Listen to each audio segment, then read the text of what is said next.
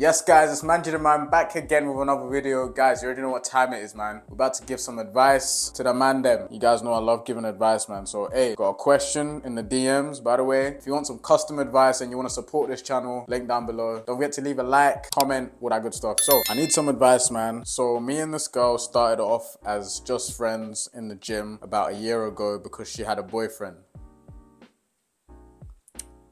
we eventually slowly started to have feelings for each other and she took a few off and on breaks with him and now eventually broke up with him fully. All right, this is quite a long DM obviously, so I'm just gonna like dissect it as we go along. First and foremost, this girl was not to be taken seriously from the jump. If she's doing this whole business of going on and off on a break with her boyfriend, if you've watched men's dating content for a while, then bro, by now you already know there is no such thing as a break. We all know what a break means, bro. It's just basically an excuse for both parties to go and do what they want. Like, let's be real. You either break up or you stay together and you work your shit out. There ain't no we're on a break. Like, that's unserious behavior. Okay, so now they broke up. We've made it clear we both like each other and hanging out after the gym more often. And since she's broken up with her boyfriend, we've even made out twice. But she's saying she can't see us in a relationship right now. I might as well finish this video now, bro. And she's not ready for one. She's also saying that she's afraid that if we try to start talking for real and it doesn't work out, things will be awkward between us. What do I do? I really love her and never have felt this way about a girl in my life. You a simp! She continues to say she's confused and doesn't know what she wants. Damn right.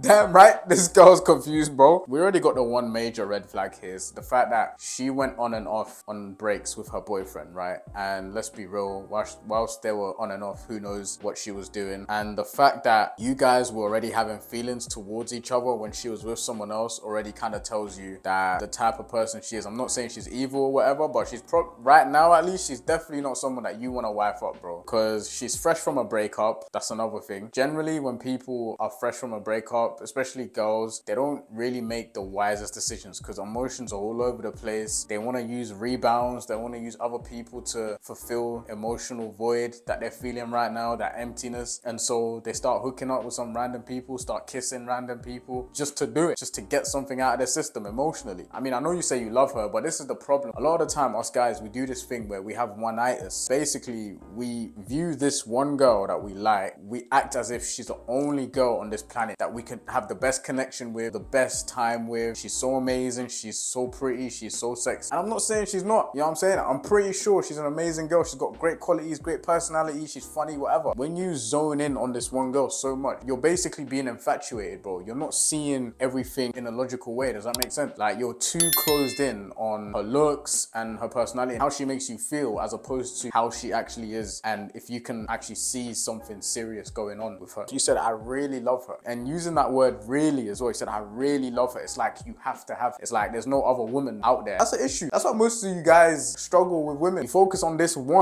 and and if that one doesn't, if it doesn't work out with that one or that one doesn't like you, then that's it. My dating life is over. It's just like, no, bro, your dating life has barely begun. So obviously you guys have made out already. You guys have kissed. You guys have kissed twice, but she's saying she's not ready for a relationship. Yeah, she's just playing games. I think, you know, and I could be wrong, but I think she's definitely using her breakup and she's using you as the next person to kind of get over it and to be that, be that kind of comfort blanket as well, because you're there, you know, you're the guy with her at the gym, you know, you have a great time together. You may even have a connection. If she was really serious about being with you, then she's not gonna make your life tough. That's one thing you guys need to understand that women that truly wanna be with you, at least in my experience anyway, she made it so clear. Like in my mind, there was no to little doubt about her wanting me. Like she would wanna get close to me. She'd wanna go out on dates with me. She'd wanna like, she was eager. She was eager to be around me. And it's like, if the girl that you're pursuing right now is not eager to wanna be around you. She's like around you a little bit, but then she's saying she's not ready for a relationship, but then she's doing this, she's doing that. Like women that really want to be around, they, they don't play these weird games. You, you think she's gonna play that game with Michael B. Jordan or with Channing Tatum or like some footballer or some rapper? Like you think she's gonna play that game? Like let's be honest. You said you need some advice. Number one, you don't have to cut her off, but you definitely, in this situation, I would cut the amount of time that I spend with her. So if you're the type of guy that always gives her advice, always always listens to her problems, listens to everything that she goes through, I would do that less because she's using you. She's taking energy out of you in order to get through whatever she's getting through in life. And that's not fair on you because you want a relationship. You want to be there for her, but she's playing games. Number two, I just tell her straight, I like you this way. And if we can't be together, then I'm going to have to distance myself. And you just tell her straight like that. And number three, you can just cut her off. So, bro, it's completely up to you.